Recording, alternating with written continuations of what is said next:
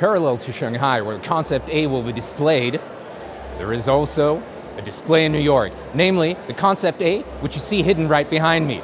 Now, the special thing is, it's one day before the New York Auto Show, here at Mercedes-Benz Manhattan, where a select group will get a whiff of what the Concept A is. And apparently, I'm part of it. So let's have a first look at it.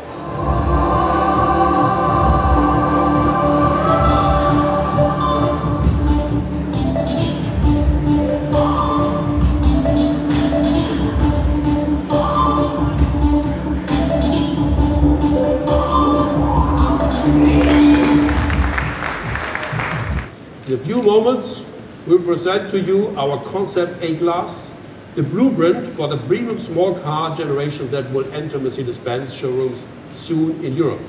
Just like ABS, airbag, and many, many other pioneering safety systems that were brought to market by Mercedes-Benz first, the new collision prevention assist embodies an important contribution to the Oh democratization Lord, of won't you buy high-tech me futures. a Mercedes Benz? My friends all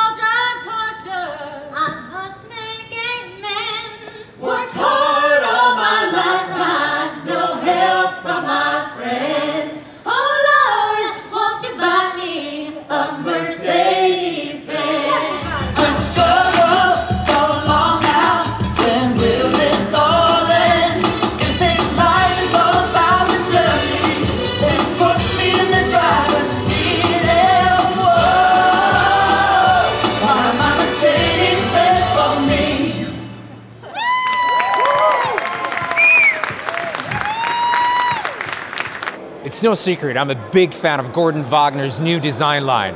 But the big surprise, the Concept A, anyone who expected an egg-shaped A-Class, you were wrong. Because look at this beauty behind me. This is a car I would definitely drive, and I think selling it will be a very, very easy job.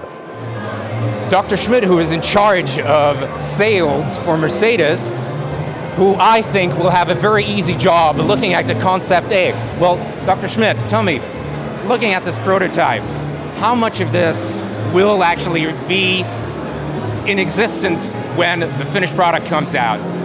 Very much. Uh, the inspiring styling, the inspiring exterior design, we will take over. Of course, some features like the mirrors, like the, the tires will not be exactly this way, but I can promise you the real A-Class is also very emotional.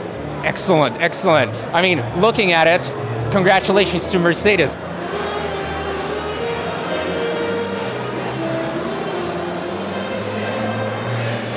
As with pretty women, beautiful cars need a very nice derriere.